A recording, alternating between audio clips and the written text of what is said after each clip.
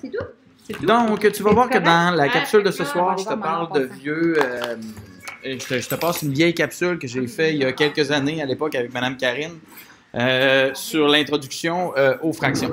C'est une vieille. euh, c'est une vieille capsule et c'est voulu. Ok, ben, je fais semblant que c'est voulu, mais dans le fond, c'est parce que je manque de temps pour en tourner une. Mais là, on fait semblant que c'est ça que je voulais. ok? Fait que, euh, je te mets une vieille capsule que j'ai déjà fait sur les fractions, l'introduction aux fractions équivalentes. OK?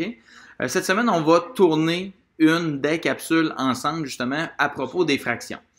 Donc, ce que je veux savoir dans cette capsule-là, bien évidemment, c'est tes commentaires, puis ce que tu as à dire sur le contenu de la capsule, qu'est-ce que je dis, qu'est-ce qu'on en fait, etc. Mais d'aller au-delà de ça, est-ce que, qu'est-ce que tu me conseillerais de faire la prochaine fois pour tourner une capsule sur les fractions équivalentes? Et sait-on jamais, peut-être qu'on la fera ensemble. Donc, un, tu blogues sur le contenu de la vieille capsule que tu regardes ou la définition d'écran. Ah, c'est pas beau, c'est pas beau, c'est pas beau, c'est pas beau. Euh, J'ai dit c'est pas beau plein de fois, ça veut dire que c'est pas beau. N'est-ce pas, Josh? Oui, très lettre. Ouais, très lettre. Mais pas toi, là, on parle de la capsule. Ah oui. Oui, voilà, parce que Josh se trouve très beau, mesdames. Euh, non, ça n'a pas rapport avec les fractions.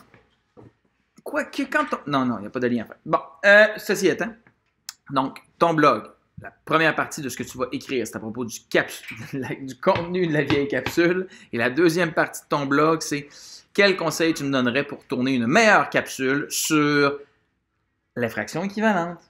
Au revoir.